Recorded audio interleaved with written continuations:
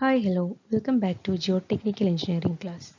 Today we are going to discuss some of the objective questions from Geotechnical Engineering which will be useful for you for your state PSC, SSC, GATE and various competitive exams. The topics for today's session is various soil deposits and basic soil properties. We are moving into our first question. First question. Valid range for degree of saturation of soil. That is, we represent it as S in percentage. Option A S greater than 0, B S less than or equal to 0, C S between 0 and 100, D 0 less than or equal to S less than or equal to 100. We know that the degree of saturation is in the range it can be equal to 0 and it can be equal to 100 or any value between 0 to 100. So the answer is option D. Okay, it is a basic question and important one also. Our second question. A soil has a bulk density of 22 kilonewton per meter cube and water content 10%. The dry density of soil in kilonewton per meter cube is. They have given four options so we need to find out the dry density of soil. We know the equation dry density gamma d is equal to gamma bulk divided by 1 plus W. In problem they have given the value of bulk density and water content. So substitute these values in this equation. So gamma is 22 divided by 1 plus 0.1. Okay. Solving this equation we will get the value of gamma d. We will get the value of gamma d as 20 kilonewton per meter cube. That is our answer is option B. Okay, very simple question and only you need to remember the relation. The relation connecting dry unit weight and bulk unit weight and water content. Are moving to our third question. The value of porosity of a soil sample in which the total volume of soil grains is equal to twice the volume of voids would be. That is, we need to find out the value of porosity. That is, we need to find out the value of N. They have given some condition that is the total volume of soil grains that is total volume of solids is equal to twice the total volume of voids two times the total volume of voids. This is the condition they are given. We know that where the porosity equation for porosity n is equal to e by 1 plus e. And the equation for e is volume of voids to volume of solids from this relation we can find out volume of voids by volume of solids as 1 by 2 or 0.5 right? So you got the equation for or the value for E. Substitute that value here n is equal to 0.5 divided by 1 plus 0.5 solving this equation we will get the value of n you will get the value of n as 33.33 percent that is our option D is the correct answer okay next question soil transported by wind is called A. Aeolian soil B. Alluvial soil C. Marine soil and the Lacustrine soil. Soil support transported by wind. The answer is option A. Aeolian soil.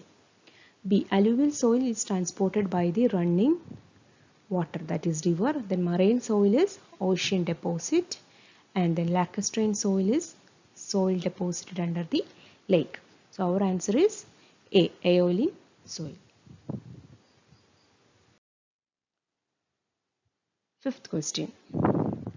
If void ratio is 0.67, water content is 0.18, 8 and specific gravity is 2.68, the degree of saturation of the soil is A25, B40, C60, D75. Okay, they are given void ratio as 0.67 and water content as 0.188 and specific gravity as 2.68. Okay, we need to find out S. We know the relation SE is equal to W into G. From that we can find out S is equal to WG by E. W is 0.188 and G is 2.68 and E is 0.67. Substitute the value and solve the equation you will get the value of S. By solving this you will get the value of S as 0.752 something. So you can write it as 75 percent which is the nearest value. So our answer is option D. Okay. So you have to remember this equation. SE is equal to W into G. Our next question the porosity of a soil sample having its void ratio equal to unity would be we need to find out the porosity. The porosity of a soil sample having its void ratio is equal to unity. That is they have given E is equal to 1. We know the equation N is equal to E divided by 1 plus E. So E is 1. So 1 plus 1. That is 1 by 2. It is equal to 0.5. Right. That is our answer is 50 percent that is option B is our answer okay so we need you just know the equation for porosity n is equal to E by 1 plus E next question gravel and sand belongs to the following category of soils gravel and sand belongs to the following category of soils Option A alluvial, B cohesive, C expansive and D marine. We know the answer that is it is A alluvial soil. So gravel and sand belongs to the alluvial soil deposit.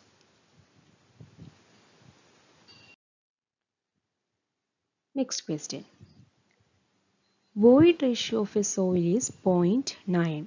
Its porosity shall be E is given as 0.9 we need to find out porosity simple relation okay options are 0.45 0.47 0.57 0.53 all the options are very close a and b 0.45 and 0.7 c 0.57 and 0.53 so you have to be careful while solving the values. So n is equal to e divided by 1 plus e. E is 0.9 divided by 1 plus 0.9 okay. You have to solve this. By solving this we will get it as 0.47 that is option B is your answer. Okay. The answers are very close. A and B are just only uh, 0.02 difference is there. 0.45 and 0.47 so be very careful while solving this value for n okay. Then next one. Water content of a soil can. Option A be less than 0% B greater than 100% C never be greater than 100% D between 0 and 100% water content we know the equation for water content as weight of water divided by weight of solids okay so they are asking what is the range for water content or water content can be the answer for this equation it can be greater than 100%. Okay, so our answer is option B.